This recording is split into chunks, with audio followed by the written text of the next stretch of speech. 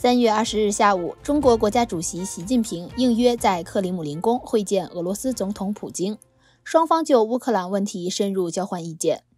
习近平强调，在乌克兰问题上，和平理性的声音在不断积聚，大多数国家都支持缓和紧张局势，主张劝和促谈，反对火上浇油。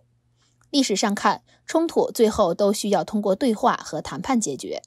不久前，中方专门发表了立场文件，呼吁政治解决乌克兰危机，反对冷战思维，反对单边制裁。我们认为，越是困难重重，越要为和平留下空间；越是矛盾尖锐，越不能放弃对话努力。中方愿继续为推动政治解决乌克兰问题发挥建设性作用。普京表示。俄方赞赏中方在重大国际问题上一贯秉持公正、客观、平衡立场，主持公平正义。俄方认真研究了中方关于政治解决乌克兰问题的立场文件，对和谈持开放态度，欢迎中方为此发挥建设性作用。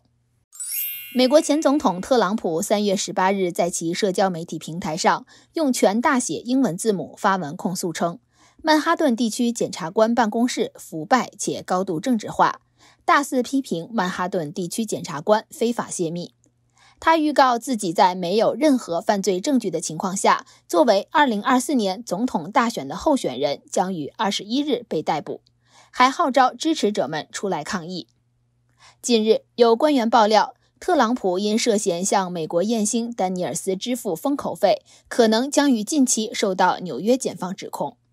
丹尼尔斯此前指认特朗普在2006年与他有婚外情，并在2016年大选期间通过律师向他支付13万美元作为封口费。该笔钱被作为法律费用报销，且没有在竞选财务记录中披露。特朗普对此坚决否认，并表示即使受到指控，他也将继续参加竞选。美国舆论担忧，特朗普的声明会使两年前的国会山骚乱事件再度上演。纽约执法部门十八日表示，正在为特朗普可能被起诉并出现在曼哈顿法庭面对指控的情况做准备。加州州长纽森在刚刚过去的周末宣布，将与非营利性仿制药制造商 Civica RX 签订一份价值五千万美元的新合同，以生产加州自有品牌的胰岛素。根据这项协议，加州将以十毫升三十美元的价格向加州人提供胰岛素，而其原本的价格通常为三百美元。纽森办公室表示，由于价格大幅下降，自费购买胰岛素的患者每年将节省两千至四千美元。加州官员说，加州人可以在当地药店或通过邮购获得 CORX 仿制胰岛素，而不需要新的处方。并且，无论他们的保险计划如何，每个人都可以使用。Civica RX 表示，它将生产美国民众最常用的三种胰岛素。